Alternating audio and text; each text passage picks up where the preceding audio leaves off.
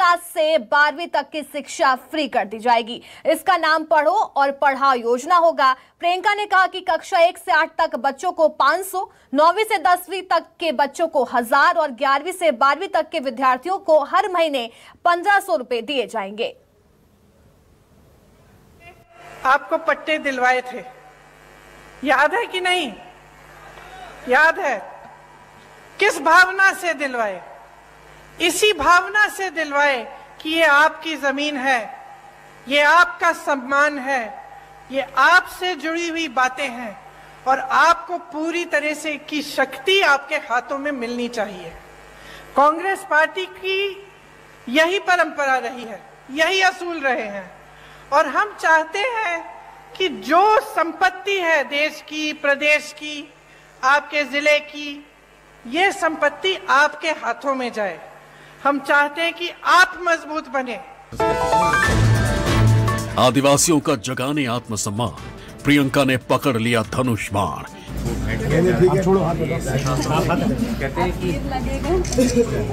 Iron lady की पोती ने दादी को याद किया और मध्य प्रदेश सरकार पर इल्जामों की बारिश शुरू हो गई। आप पर जो अत्याचार बरसाए जा रहे हैं उनका अब कोई मुकाबला नहीं है। पूरे देश में, मध्य प्रदेश उनमें नंबर वन हो गया है। देश में सबसे, प्रदेश में सबसे ज़्यादा बच्चियों को यहीं पे मध्य प्रदेश में, यहीं पे गायब हो रही हैं। सबसे ज़्यादा बच्चियाँ। डेढ़ लाख बच्चियाँ और महिलाएँ गायब हो गई हैं इनके राज्य में। हर रोज सत्रह बलात्कार होते हैं। तो देखिए, यहाँ की जो परिस्थितियाँ हैं, वो मुश्किल होती चली जा रही हैं। आपको रोज़गार नहीं मिल रहा है आपको वन पर अधिकार नहीं मिल रहे हैं यहाँ पे अत्याचार बढ़ रहे हैं। सरकार पर ताबड़तोड़ हमलों के साथ प्रियंका ने मध्य प्रदेश में एक और गारंटी का वादा कर दिया। वादा ये कि अगर सूबे में कांग्रेस की सरकार आएगी बच्चों को मुफ़्त में पढ़ाएगी पहली क्लास से बारहवीं तक के विद्यार्थियों को हर महीने पैसे भी देगी। पहली कक्षा से लेकर बारहवीं तक स्कूल की शिक्षा निशुल्क होगी।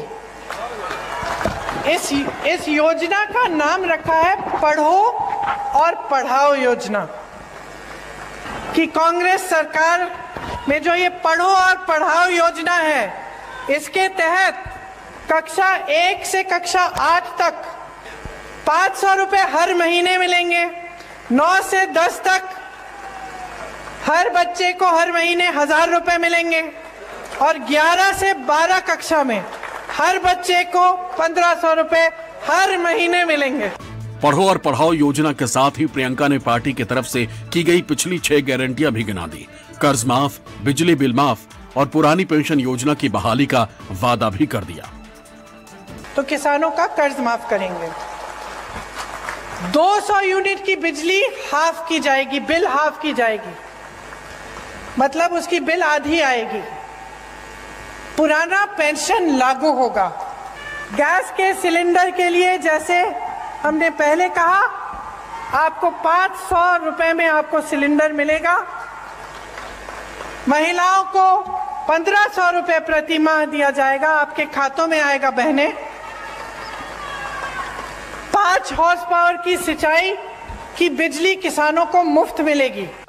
विधानसभा चुनाव की रणभेरी बजने के बाद पहली बार मध्य प्रदेश के मैदान में कूदी प्रियंका गांधी ने।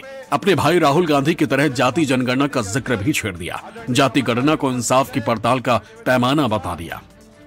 कि हम बार बार कहते हैं कि जाति जनगणना होनी चाहिए।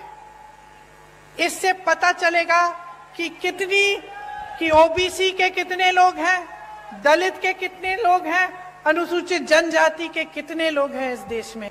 तो जब हम कहते हैं कि जाति जनगणना करो, हम सिर्फ़ ये कह रहे हैं कि भाई गिनती करो ताकि न्याय हो सके। लेकिन ये सरकार इतना भी नहीं करना चाहती। तो मनरेगा किस लिए बनाया गया था? आपको मज़बूत बनाने के लिए, ताकि आपको रोज़गार गाँव में मिले, ताकि आपको पलायन करना नहीं पड़े। आज पलायन बहुत बड़ी समस्या है यहाँ की। भोजन का अधिकार का कानून मिला आपको। इससे आपके बच्चों को जो भोजन का अधिकार है वो दिया गया कि सरकार की ज़िम्मेदारी बनती है कि आपको भोजन मिलना है। पंचायत व्यवस्था को कांग्रेस की सरकारों ने मज़बूत किया। जो पैसा पंचायत को आना चाहिए था वो आया। पंचायत में जो निर्णय लेने चाहिए थे कि, कि आपके यहाँ कुछ काम कराना है या कोई समस्या है उसको सुलझाने के लिए वो पंचायत में ही लिया जाए। ये कांग्रेस की सोच थी। और प्रियंका जी आई हैं तो फिर झूठ परोसेंगी। कर्जा माफ़ी का झूठ पिछली बार बोला गया था दस दिन में माफ़।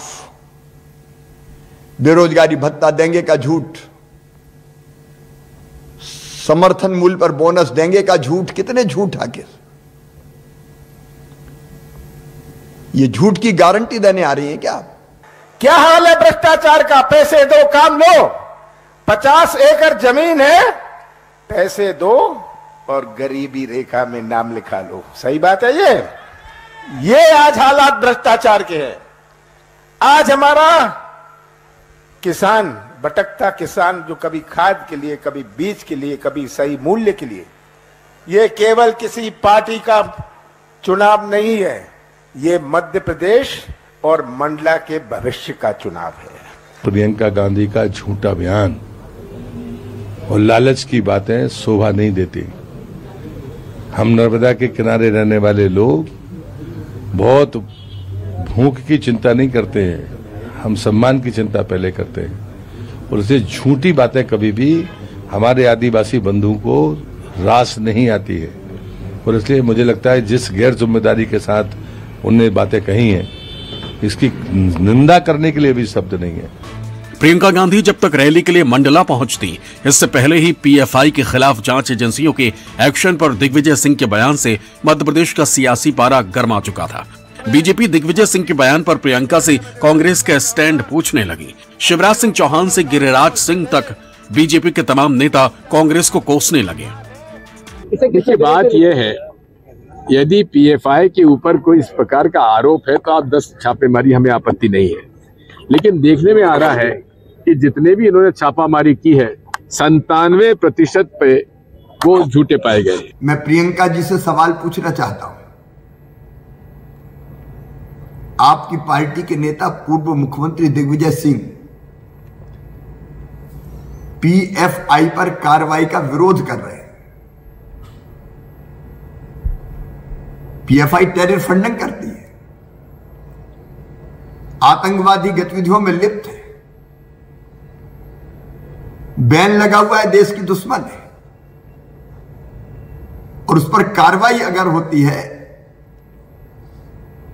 तो दिग्विजय सिंह विरोध करते हैं। क्या यही कांग्रेस का स्टैंड? स्टैंड है। आतंकवादियों को महमा मंडित करना, सर्जिकल स्ट्राइक का विरोध करना,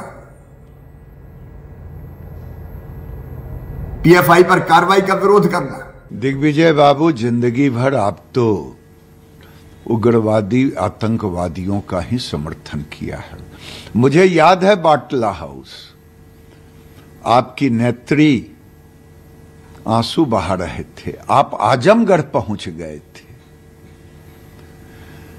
आप ओसामा जी कहते हैं। इसलिए आपके मुँह से ये बातें अच्छी नहीं लगती है। आप तो ज़िंदगी भर आपकी पार्टी ने तुष्टिकरण ही की है और आज भी तुष्टिकरण ही कर रहे हालाँकि बयान पर मचे बवाल के बाद दिग्विजय सिंह की सफ़ाई भी आई। ट्वीट के ज़रिए दिग्विजय सिंह ने न सिर्फ़ आतंकी गतिविधियों का विरोध किया, बल्कि पीएफआई के खिलाफ कार्रवाई की वकालत भी की। लेकिन तीर कमान से निकल चुका था। बीजेपी को कांग्रेस के खिलाफ निशाना मिल गया। एमपी में पंजे का परचम लहराने निकली, प्रियंका गांधी को घेरने का बहाना मिल गया। विपिन श्रीवास्तव भोपाल